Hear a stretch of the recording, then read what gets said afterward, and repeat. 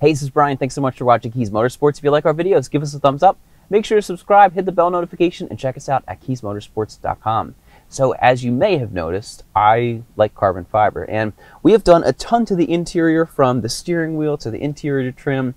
It's all over the vents, the door handles, everything. But my emergency brake handle is feeling left out. So, today we're going to show you how to install a carbon and Alcantara emergency brake handle on your BMW F30. For this process, you're going to need a sharp blade and a zip tie. So let's start by putting the e-brake up. The way that I like to remove this is first, start down here. I just grab in the middle. As you can see here, there's a number of clips. So just work your way around.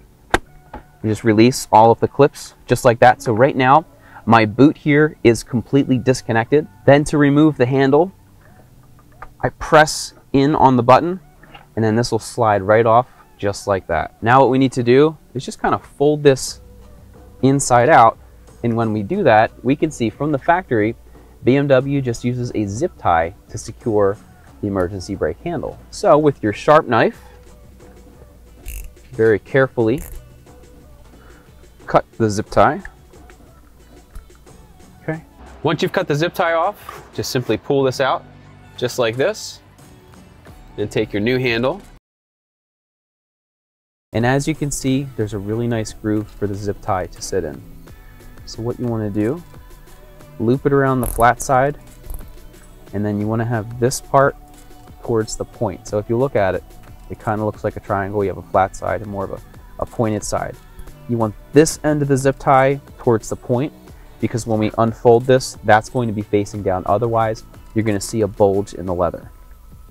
Once you've done that, you can cut the rest of the zip tie off and push it through and it'll look just like that. So as I was saying, if you had that piece, the thick part of the zip tie, it's going to get a bulge right there and you don't want to see that. Then what you can do is slip this back on just like that and just line up these other clips press everything into place and you're good to go. Let's get some EBR, epic B-roll.